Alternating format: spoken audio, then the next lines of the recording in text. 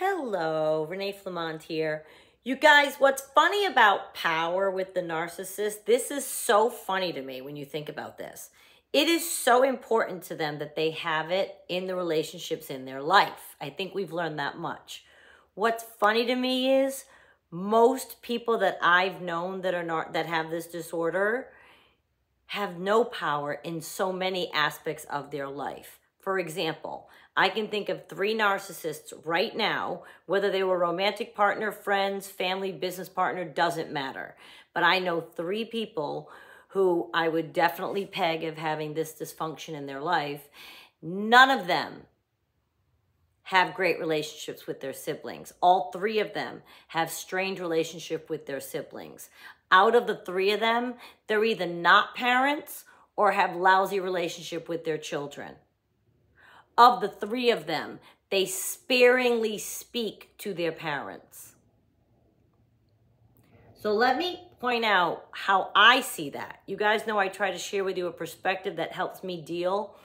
For you to understand their, their need for power, think of those three groups of people. What do they have in common? Their siblings, their children, if they have them, and their parents. What are they?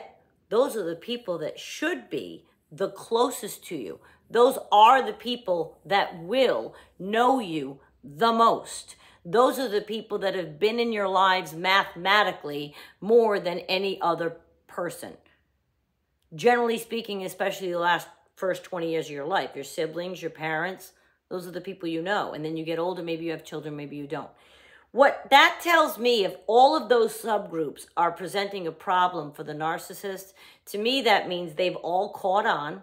They all know the narcissist, and the narcissist is now uncomfortable to be around them because they've lost their power to manipulate, to pull the wool over, to say a story and have parents, siblings, or children of your believe you. They know you, they know your life. You've lost your power with those people. And I've seen in all three narcissist cases that are in my mind, the power lost led to relationships dwindled, minimized, barely nothing at all, once a year, twice a year, under extreme circumstances type thing. I want you to understand how vital having power is to the narcissist. They have to control the entire narrative. If there's somebody that doesn't have these subgroups that should be the closest to you in their life, and I'm telling you, I, that's three off the top of my head just now. I can think of more if you give me just a second. Yeah. But to me, that's so illustrative of the what's the common denominator? It's the narcissist. They know that these people know the real them with the mask off. We've all seen it. So they have to move on to new people, new friends, create families outside their families, a different workplace. If this workplace caught on to them, they have to now go to a different workplace and then introduce themselves and be who they want to be until those people figure them out. And then they'll move on from that person. Why? Because they lost control. They are very manipulative. We talked about that this week a lot with making people see what they want them to see. So if they want to be the life of the party, that's what they're going to allow people to see.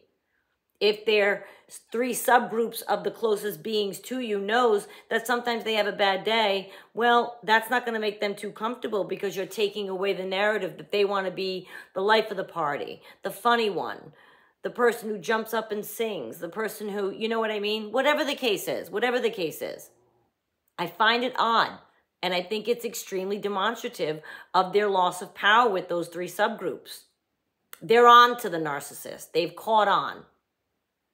Narcissist doesn't know how to handle that.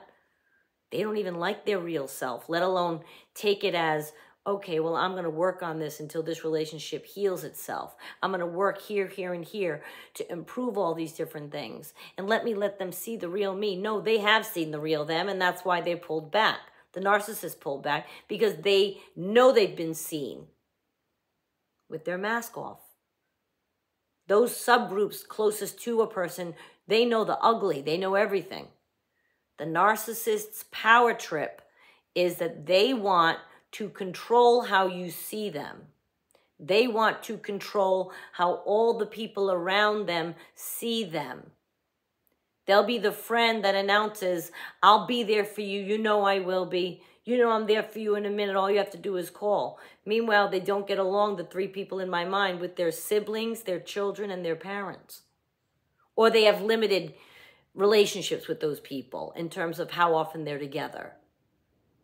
Why? They're not getting the praise. Maybe they're just being treated regular when, when they're around these three. Maybe there's people in these three that have had it out with this person. There's years of fighting in the mix, whatever. Well, they want to move on to a group full of people that sees them and reveres them. Aren't they funny? Aren't they wonderful? Oh, they'll give you the shirt off their back.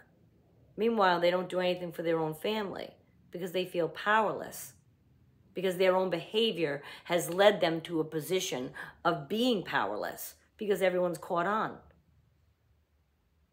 They want the red carpet treatment. They want people to love them, not challenge them, not want to talk about something old, not want to make them feel bad about what they did to that, pardon me, to that person, even though they would never admit it. They don't want to hear somebody bring up an old thing. So they move on to new people and they take control of the narrative. And the new people never even hear about any of the negative things they've done to the three subsets I've mentioned. It's manipulation. They have to have to have the power. That's why throughout the relationship, the narcissist partner is trying to control everything. Everything. They give you rules. There was a girl today, God, I wish I wrote down her name on TikTok. And her video is about she's getting ice and her it says narcissistic abuse under in a hashtag. And it's she says I wasn't allowed to get ice past 5 p.m.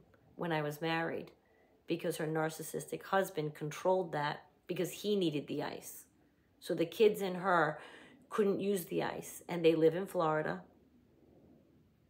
That's control because it's he wants the power. She wasn't allowed to go get the mail. I just look I just found her today. I'm going to next time I have her name, I'll let you guys know. Is it like something with an L? I can't, I don't want to misspeak. But bless her heart. Bless her heart. Controlled that much because he wanted to feel powerful in the relationship. The dynamic too much for you, narcissist the dynamic between a man and wife is too much for you, you have to exert your power like that against another human being that's supposed to be your wife. That's about power. And many of you have been in it because you've told me. It is their kryptonite, their catnip, their whatever you want to say. The narcissist needs it. They have to be in charge. They have to be and they take out that manipulation we talked about to break your boundary that we talked about to exert that power so they are controlling the situation. I wanted to single it out as its own topic to make sure you understand it's all connected to the power that they want and the control that they have to have. They can't enter a room and not know that in it are going to people be people that revere them. They're going to avoid the three subgroups I mentioned on this video because they're not going to be revered in those subgroups or they question whether or not they will be. Because once 20 years ago, somebody in one of those subgroups saw the real side of them. So now they know you've seen them with the mask off and they can't handle that because they can no longer convince you of the narrative they have of themselves, which is victim, martyr, savior, hero. They can't be the person that is wrong, though. They're the person that was wronged. And if you have a different opinion, they're going to stay clear of you and they're going to go and gather their power needs from people that they can convince to need them, to love them, to see the truth of themselves that they're trying to present. And they'll go with those people as long as they can without their mask falling off. It's quite a sad way to live. I feel bad that they can't just exist in their own company and like themselves and validate themselves. without needing that validation from other people. I think it's a very sad state of existence. Like I look at them as human beings and think it's really sad. Like I don't feel the need to exert control over other people or to power trip over any individual, not even my daughter. We don't exist that way. But a narcissist does. And I want you aware of it because now maybe your ears will perk up when you think, oh my God, they're trying to control this. They're trying to control everything. Yes, they do. What you eat, where you go, who you see, who's in your life, who isn't, how you feel about yourself day to day. Give it a lot of thought, you guys, and just be on the lookout and chin up and don't let anyone control you. Have a good weekend.